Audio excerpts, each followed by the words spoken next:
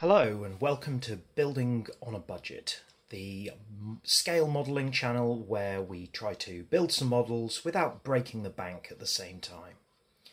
Today we're going to be looking at the um, Peugeot 206 uh, World Rally Championship car from 2003 by Heller. Now, um, for those of you who don't know, Heller are a French scale modelling brand. Um, they uh, were previously associated with Airfix, and um, a lot of their models, I think this one as well, um, were also released by Airfix. Um, you can see there on the back there's a few different adverts for different models that were out around the time. Um, it also says that uh, the model will assemble to the length of 167 millimeters, and um, there's uh, age warnings, things like that. Also says uh, the pictures are not contractual, which I believe is their way of saying, um, you know, don't expect it to look quite the same as it does on the box, uh, which I'm not surprising surprised about. This is obviously a photo. There are drivers on the inside there. Uh, this kit doesn't come with drivers. Um, it's uh, 1 to 24 scale um, uh, and uh, 60 pieces. And also, um, as you can see here, this set came with um, paints, glue, and brush. Um, more of that uh, I'll show you later.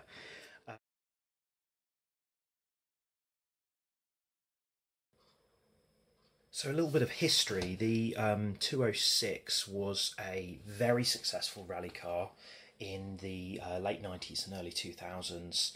Um, Marcus Gronholm, who is the driver of this car, um, won the World Rally Championship in it twice, and uh, this was the final year that it was used before they switched over to the 307. This was also the final World Rally car driven by 2001 champion Richard Burns, who would retire at the end of the season following his diagnosis of a brain tumour. He sadly died two years later in 2005. One of his World Rally cars is still at the Coventry Transport Museum in the United Kingdom.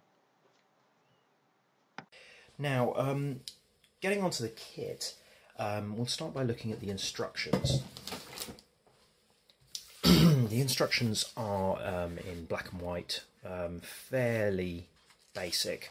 Um, at the beginning, you've got uh, information about the car itself and in um, eight different uh, languages. So it's quite comprehensive.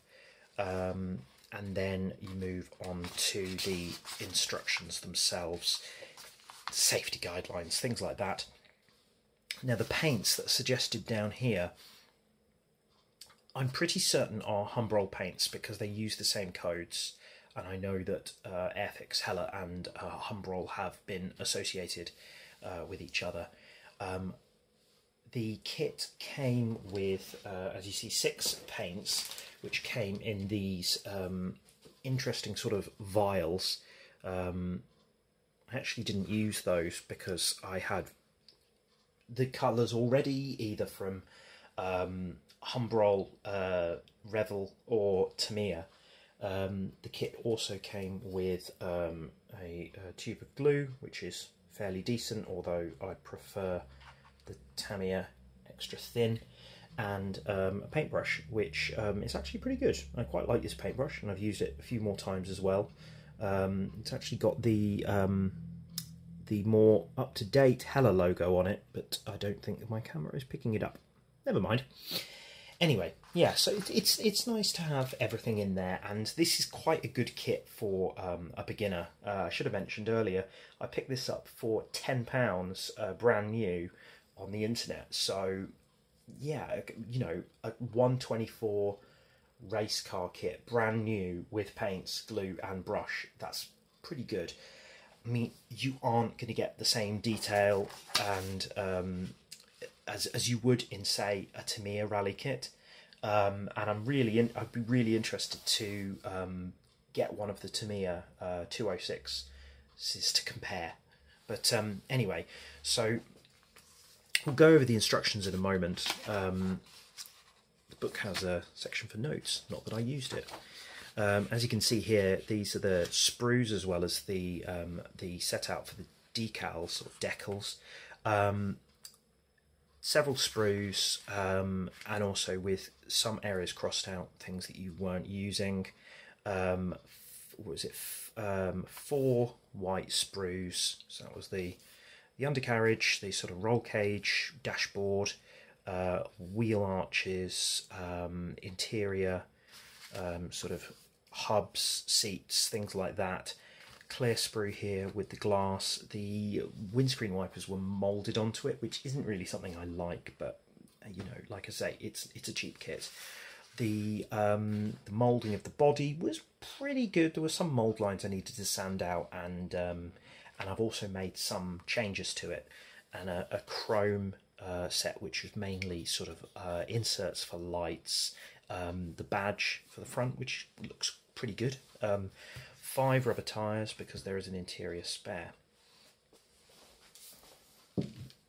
So while the colours here um, were suggested, and for instance, um, it wanted you to use uh, 19, which is a kind of a gloss bright red or rouge brilliant um, en français um, for the bodywork. Um, I I don't use an airbrush, um, so but I do use uh, spray cans. So I can show you that I used these uh, gloss spray enamel from uh, Wilkinson, um, British um, kind of everyday kind of store, um, which were really gave a really really nice finish. I'll show you that in a moment. Just remember that if you are to use things like this, they are enamel paints. Make sure you use them in a ventilated area. Protect yourself with a mask, things like that. Um, yeah.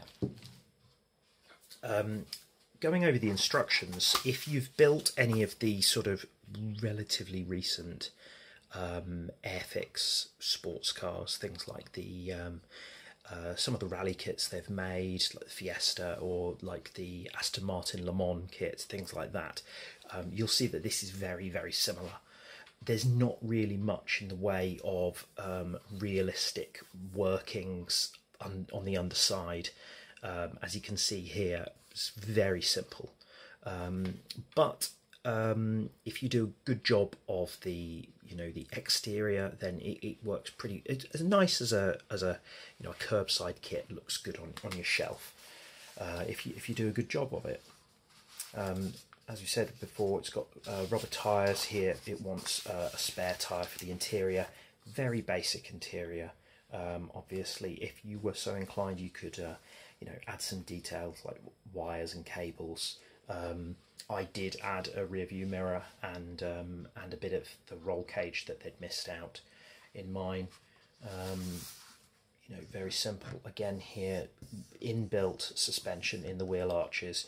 You know, if you want this to be, you know, a lesson of the inner workings of, um, you know, the Peugeot 206, I don't think you're going to get that from this. But it looks quite nice. Um, one of the things I didn't really like though was this um, radiator grill here, which fits, you know, really tightly behind um, the uh, open kind of smile of the car, as you can see here. In reality, the radiator is set back. There was a mesh there with a very faint 206 kind of um, painted onto the uh, grill, um, and I, I, made some adaptations to that, as I'll show you later. Uh, yeah, so pretty simple, you know, step-by-step painting instructions, few interior decals, uh, including seatbelts. Um, I decided to use the decal seatbelts for this rather than uh, use any of my photo etch. Um, always good to have a, a small drill because there are some spaces in the top for different aerials. Um, this kit was originally issued in 2000, so it's possible that some of the features like aerials may have changed in that time. Um, go over the window masking here. Um, I actually used the um, Zero Designs uh, window masks, which are designed for the Tamiya kits, um, but uh, as the scale is the same, um, they fit pretty well. I've put them back on here and because they, they get kept their stick, and I thought, yeah, you never know might be able to use them again one day. But um, just remember that you know these are available. Um, I bought them from uh, Hiroboy, uh, well worth buying.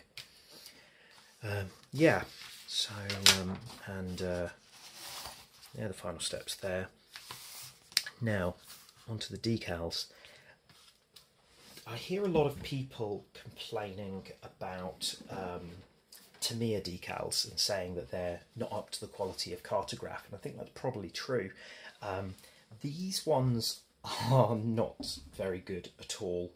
Um, you can see here some of the decals that I didn't use, like the kind of rubber strip that goes around the doors or uh, the tail lights. I don't like uh, using uh, decals for tail lights. It just doesn't seem right. Um, uh, also some vents, which uh, I'll show you what I did instead in a moment.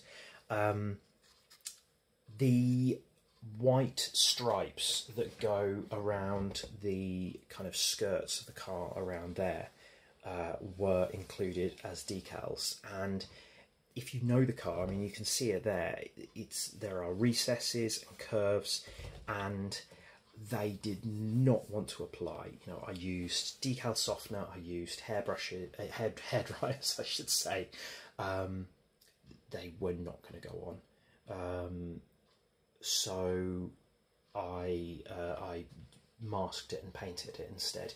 If you were to make this kit, I would seriously recommend you masking it and painting it as well. Um, but do that before you've applied any of the other decals because I had already applied some of the others and it meant that I had to do a very delicate job so that I didn't um, accidentally tear any of the other decals, as I'll show you in a moment. Um, yeah, pretty accurate though. Um, unlike you know the Tamiya kits that give you a choice of drivers, this one you only were able to do uh, Marcus Grönholm, who was number one, obviously as the reigning champion.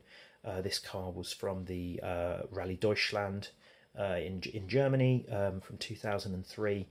Uh, I think one of the reasons they chose that was because the tobacco markings, which would have been uh, on the bonnet there and on the side doors there, um, have been removed.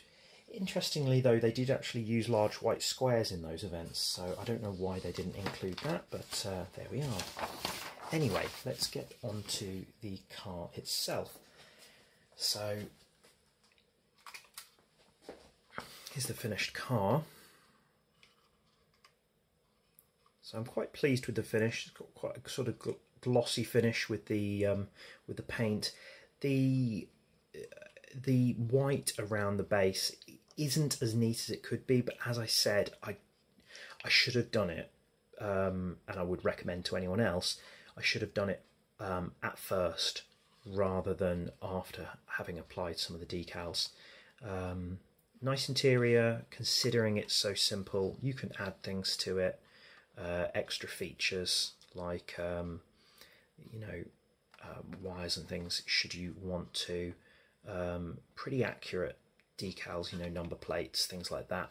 So what I did with the front here, as you can see, is um, I actually cut out part of the radiator and moved it back about a centimetre um, and you can kind of see that silver bit in there and the 206 grill here is actually some spare mesh that I had left over from um, the uh, Tamiya um, uh, Celica 1993 uh, kit, and, uh, and I just thought, oh, well, I'll repurpose it.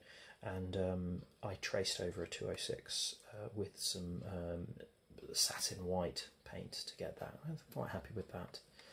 Um, yeah, so I think it's turned out pretty well in the end. I used um, red Sharpie for the tail lights and um, the extra brake light down here rather than using uh, the light the, the, the decals that came with it. I think that's a bit of a, a bit of a sloppy thing to to use those. Also, uh, there were decals for these vents here. I actually used my craft knife to cut those vents out and added a bit of mesh underneath. Um, just a few little things that you can do just to make it look that little bit more, um, you know, real, a little bit uh, more interesting. Um, I included some white squares in places where the blank uh, tobacco markings would have been. Um, I was thinking about doing it on the sides, but I just couldn't get blank decal paper that was um, that that looked good enough. So I thought, you know, it looks quite nice like this. As I showed you before on the instructions, the underside is very simple, very simple. We added a bit of paint to a few different areas there, um, but yeah, um, that's the car. Finally, I guess it comes down to, uh, you know, would I recommend this? Um, I would, I would, um, because I'm firmly of the believer that um, a model is what you make of it, and if you put the effort in, um, you will get a good result, something you're pleased with. Um, this does sit on uh, on my rally shelf with three other uh, Tamiya models, and it doesn't look too out of place. I think it would if you turned it over, or maybe had uh, a close look on the interior. But you know, um, it's a nice little kit. It's okay for a beginner, I would say, but um, those white decals around the um, around the, the, kind of skirts of the car are very, very, very difficult, and well, they're basically useless. So I would recommend against those. Um, and I've also seen um, some examples of this uh, done as you know a kind of racing modified street version instead, which is quite a nice uh, way of doing it. Should you wish. Um, but yeah, it's it's it's a it's a good value kit. Um, I've got a couple of other Heller kits, uh, including their um, Alpine A110 uh, rally car to build. So I will see what those are like. But yeah, anyway, I hope you've enjoyed this. Please um, comment, uh, like, share, and subscribe should you wish. And um, I'll see you soon. Bye.